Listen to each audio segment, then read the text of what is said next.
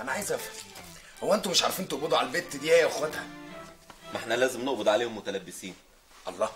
هو أنتوا مش عارفين انهم بيتاجروا في المخدرات ولا إيه؟ عارف ومتأكد ان اخواتها بيتاجروا في المخدرات. هي لسه شاكك ومع ذلك كل مرة نكبس عليهم ما لاقيش حاجة. بصراحة يا علاء أنا متغاظة بالبنت دي قوي. صحيح اتقي شر من أحسنت إليه. مش يمكن هي بقت كده نتيجة إحساسها بالظلم واللي اتعمل فيها. معنى كلامك ده إن كل واحدة جوزها يطلقها لازم تنحرف. ما تنسيش يا حبيبتي إن دي واحدة مش متعلمة وظروفها صعبة. لا معلش بقى.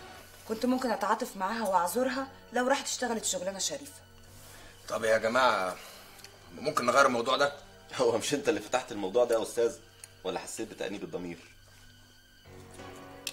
وأنا احس بتأنيب ضمير ليه يا علاء؟ لأنك شاركت في ظلم وردة. طب ما أنا كمان اتظلمت يا علاء. أنت عايز تبرأ نفسك وتطلع بابا هو الغلطان وحده؟ وأنا غلطت في إيه يا ست مروه أنت غلطت غلط كبير قوي. كنت المفروض تبقى شجاع من الأول وتقول لهم إنك هتتجوز وردة مش تروح تضحك عليهم وتتجوزها من وراهم وأنت عارف إن بابا ما بيحبش حد يضحك عليه أختك بتتكلم مظبوط. أنا شايف إن كل المشاكل اللي بتحصل دي نتيجة تصرفاتك يا فتحي. وبعدين كل شوية البنت دي تروح تتهم بابا اتهامات فظيعة. آه وجوزك وزمايله أول ما بتروح تبلغ بيصدقوها على طول. يا عم نصدق إيه وما نصدقش إيه؟ ما أنتوا كمان كل شوية تتهموها هي واخواتها. يعني كنت عايزنا نعمل إيه علاء يعني وبعدين أنا عايز افهم.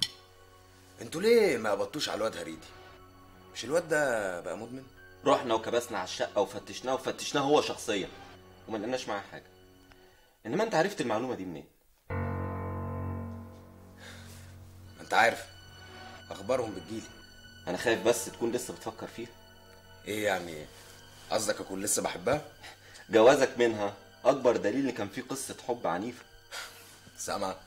سامع جوزك بيقول إيه؟ في دي جايز عنده حق. طب ما تغيروا الموضوع يا جماعة. أنتوا ليه بتقلبوا عليا المواجع؟ بقول لك إيه؟ خلينا في المهم.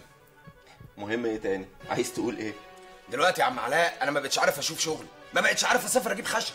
بالعكس يا فتحي انت تسافر وتروح وتيجي وتشوف شغلك عادي خالص. آه وانتوا بقى تقعدوا كل شوية تفتشوا المراكب بتاعتي مش كده؟ يا عم ما تسيب اللي يفتش يفتش. انت خايف من إيه؟ ما تنساش يا علاء إن فتحي تاجر وأهم حاجة عند التاجر سمعته. قولي له.